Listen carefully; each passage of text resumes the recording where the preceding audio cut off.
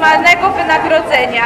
Jeżeli wydaje się Wam to mało prawdopodobne, to zapraszamy do Biura Oddziału Związku Nauczycielstwa Polskiego. U nas można sprawdzić oryginalne paski z zarobkami pracowników.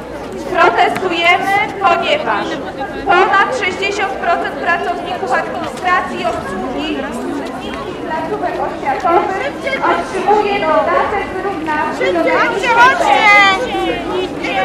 Chodźcie, chodźcie! Większe Nowy pracownik otrzymuje takie samo wynagrodzenie jak pracownik z 20-letnim stażem pracy. Niska pensja to również niska emerytura. Jedna z naszych koleżanek po 36 latach pracy na stanowisku woźnej oddziałowej w przedszkolu otrzymała emeryturę w wysokości 1000 Druga po 40 latach pracy 1200 złotych.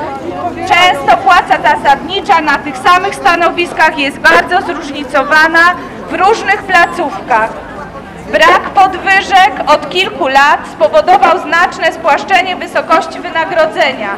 Na przykład nie ma różnicy między płacą zasadniczą sprzątaczki i referenta, a przecież jest zakres odpowiedzialności tych dwóch stanowisk. Oto wysokość wynagrodzenia netto niektórych pracowników niepedagogicznych.